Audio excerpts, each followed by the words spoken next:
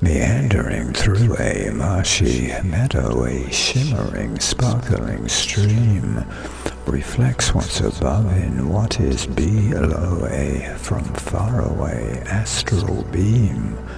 The whooshing of wind through reeds on the shore adds to the watery scene transfixed and transcending more and then more. Seldom I've ever been a star here on the earth in such a beautiful way.